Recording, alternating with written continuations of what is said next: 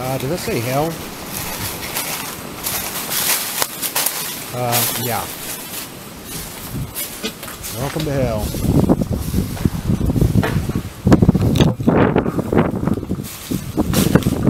Reminds me of that High Plains Drifter movie.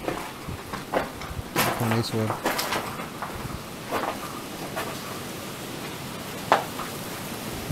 Man.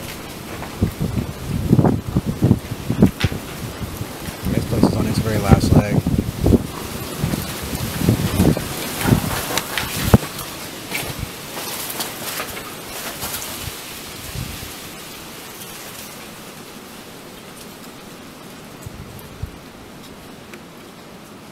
Almost the whole entire back half of the house is gone.